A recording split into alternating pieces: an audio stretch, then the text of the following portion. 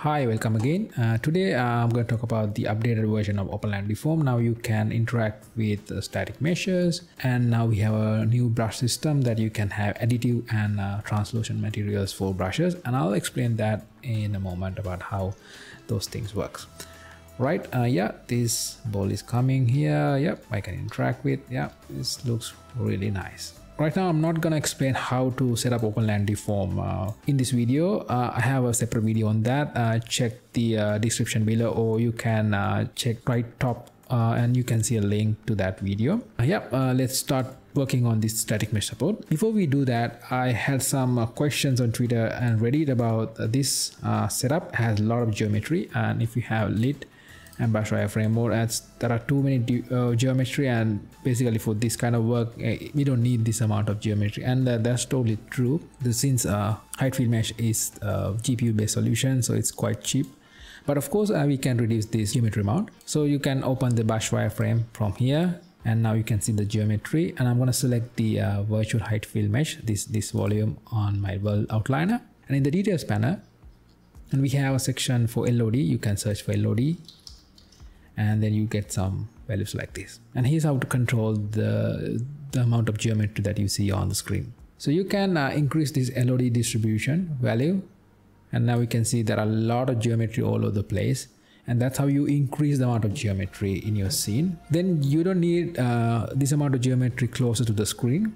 So then you can do is uh, actually increase LOD0 screen size if you increase this value you can see now we don't have that many uh, details in the uh, the closer to the screen and that's that's that's fine. And I can increase this value quite high. Now you get something like this and this is this doesn't work well but if you put a value in between uh, 1 to 10 and you can have a decent value. So I'm gonna go with this value right now and then go to the lit mode and I'm gonna play my game right now you still get the same uh, results usually right? And then uh, let me show you how to work with static meshes and show you some of the new brush system that we have. Okay i'm gonna delete these static meshes right now. Right i will also remove the uh, footprint support from the character blueprint so, so this should be similar to the default setup. There's nothing happens. And then if you go to the OpenLand deform manager and then you enable this follow play character and then you will see some deformation like this. All right this is just fine. And then uh, go to content OpenLand blueprints deform. And here now we have a actor called OpenLand deform static mesh. So here we are not going to deform the static mesh but uh, deforming the landscape. So don't get confused by the name. Okay that's fine. And then i'm going to drag that into my scene. Then if i play my game uh, yeah you cannot do anything because so we need to enable physics simulation on this static mesh right? Select this static mesh and go to the details panel. And you can select the static mesh uh, component over here. And then uh, you need to enable simulate physics. And about this mass i think uh, let's add some value like 50 so we can uh, easily work with. Otherwise too heavy and you couldn't control via the character. I'm gonna save this. Then let's play. Right now we have this so now you can do is actually yeah you can right something like this. And uh, there's a problem here. If you walk on this trail the, the trail that already created by this so let me go to a place like this. All right. So if you walk on the existing trail you can see now it's kind of overriding on top of that. It's not natural. And that's uh, because of the behavior of the the brush that you are using for the uh, follow play, character. And I'm going to talk about that and how to fix it quite soon. And let me show you some of the options of this static mesh. And then first thing is if you select this static mesh actor and you have a couple of options. And the first thing is a uh, max depth size. And i am going to show you this what's the meaning of this. And I'm here we have uh, something called draw debug line. I'm going to select that. I'm going to play my game and yeah. So now you can see we have a hit trail something like that. And the this depth is the max depth value. If you put a smaller value like 50 uh, it won't do any deformation because it doesn't hit the ground. You can see here and it does hit the ground sometimes but so you need to have some higher value and that's why you put a value like 150 and then uh, it hits the ground. As you can see over here right? Not in this case but uh, you can see it hits the ground sometimes. But if, if in the, it's in the air it won't like. So you can select a value that's just for your static mesh based on this debug trail. And the area size is the area that covers the uh, this deform. So i think this cube is about like uh, one square foot and that's here we're using a two square foot uh, area. Uh, that's because like uh, this brush has some empty space that's why. If I put value like 50 50 and let me play my game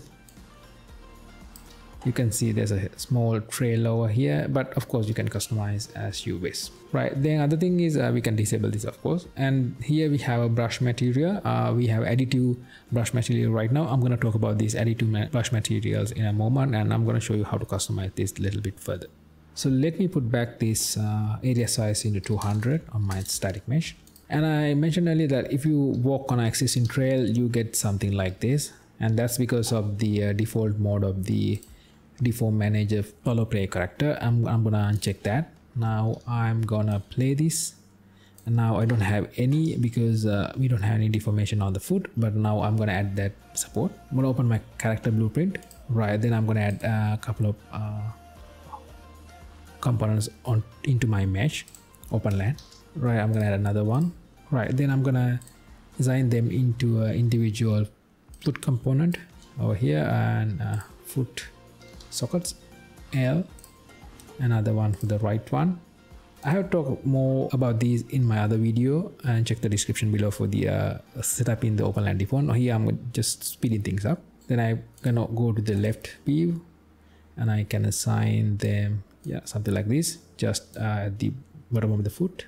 So it's not uh, something you had to do. I mean, like you, you can try that. Right now I'm gonna play my game now you can see foot deformation like this all right and then if you do the like this you already have a trail and if the user walk on that existing trail nothing happens.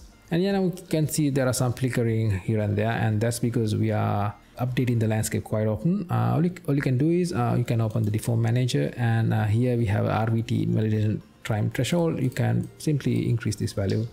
Yeah something like this then it will stop the flickering. I also talked about this RVT invalidation threshold. Just check my other video and you can learn about these things. So here we are using the existing uh, our actor, but you can of course use your own actor and add a component and it's quite easy.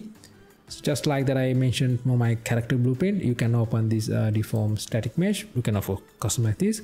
And here we have a static mesh. Of course you can put any static mesh over here and then under this static mesh we have this deform component and we are exposing these uh, variables into the main actor root actor and that's how you change the settings. But of course you can continue to like uh, customize this uh, on your custom blueprint. And the only require the only required thing is you need to assign the OpenLand deform component to your static mesh or any uh, component that inside your blueprint. And that's how you can add uh, this deformation support to any actor in Unreal Engine now I will talk about something about additive and translucent materials for these brushes and let me show you the difference. All right and now we have trail like this and then if I walk my trail and there's nothing happens because that's expected yeah you don't have anything to deform in this trail and that's why you don't see anything. But let's say I'm using here I'm using the additive material but we have something called uh, here we have the brush hole additive. But then I select the standard one like this and I'm gonna assign this to each and every component over here and you can see something interesting right? And about the normal footprints that's just fine okay? But if I uh, create a trail with my static mesh if I walk on that you can see this sand is growing on top of this existing trail and and that's not natural. And the reason is try to override the existing uh, underlying uh, render target for each and every footprint. But here about the additive uh, material is it won't override but it will it will continue to add add data uh, up until to one uh, in this range 0 to 1 range. So that's why you, see the natural behavior.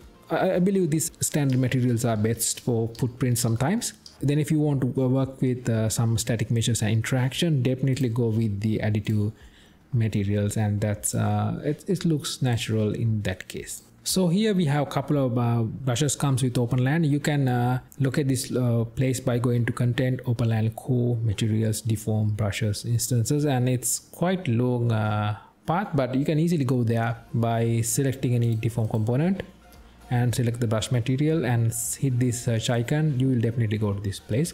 And here we have the uh, set of material instances. For example, here we have the brush hole and the additive one and here this is just fine. This is a customized version. Here we have the texture brush and text uh, additive brush. And if you go one level up and you can see the all the master materials for these brushes and you can uh, configure those as you need. Right now i'm gonna try to show you how to customize this brush for your needs. And uh, for that one i'm gonna select this uh, cube and i'm gonna change that into a sphere. Now this static mesh is quite large I'm gonna change this size a little bit down something like this and I'm gonna add some force.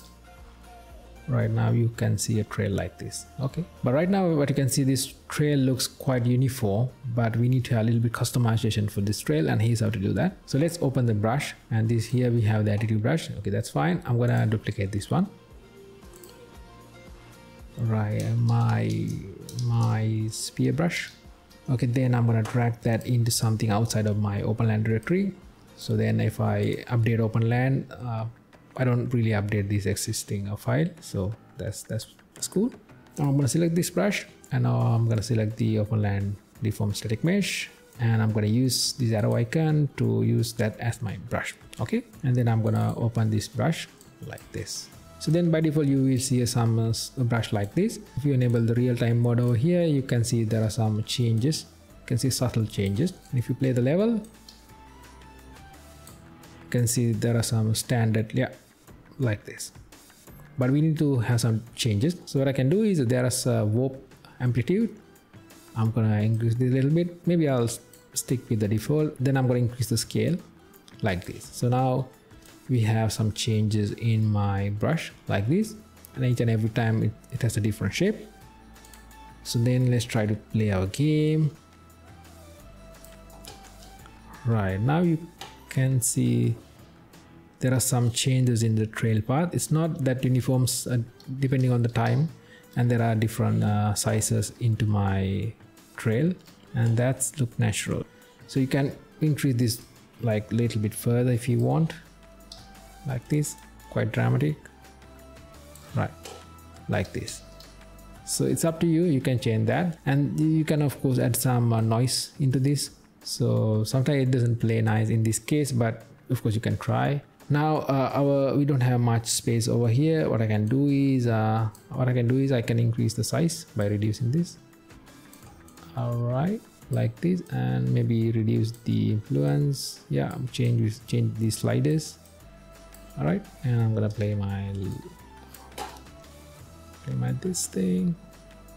All right and yeah now you get different changes and of course like this. So just play with your brush and try to see what's working for you and that's about these brushes.